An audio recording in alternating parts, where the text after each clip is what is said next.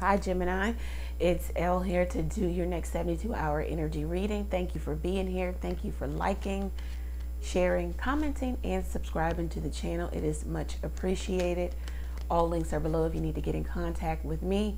So let's get into this. Thank you, Lord God, for blessing the Gemini Collective with a clear, concise message from you. All right, so Gemini, it, just looks like um somebody feels like they are the prize. All right, um, their looks uh, their beauty, everything, you know, this is what this person should worship or they should, you feel like they should worship you, they feel like you should worship them, all right?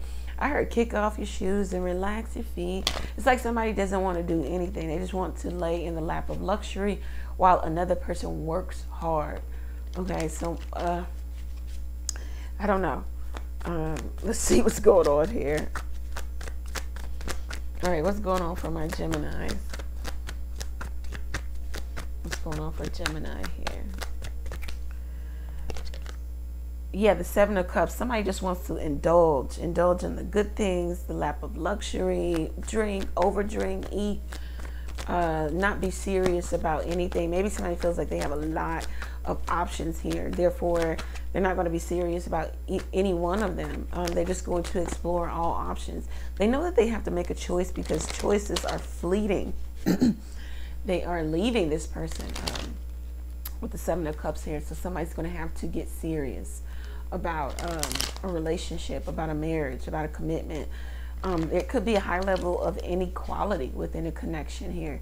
Somebody makes promises to do something or to be something or a certain way but they do not fulfill those promises. And they were empty promises from the beginning. There could be a cheating scandal cheating spouse person here. I don't know um, somebody is just not honest. Could be dealing with a Scorpio. Somebody smoke, blow smoke, blow smoke up your ass. They tell you what you want to hear so that you stay, or that you stay in a, a level of confusion. When you're confused, you don't make a decision, right? So they've got you stuck, stagnant. Let's see. Um, yeah, the Six of Wands definitely could be a cheating scandal. Pride comes before the, the fall so somebody is going to get caught or somebody's going to leave the equation and say, you know what, I choose me. I don't choose to be a part of this any longer. Um, somebody's going to walk off strutting them, their stuff, winning this battle of of wits and other people and interference and drama. Someone says, you know what, it's just best for me to choose me. Um, and I'm going to rest on my principles and my morals, okay? Uh, it is the principle of this thing, okay? Uh, the Six of Wands, and could be dealing with the Leo. If you're not dealing with the Leo, someone is just saying, you know, um, if you're not going to choose me, if you're not going to put me first, if you're not serious about the connection, I will choose me. I will walk away. I will win this battle by just walking away, just withdrawing, ex extracting myself from the confusion, from the drama, because I don't need it.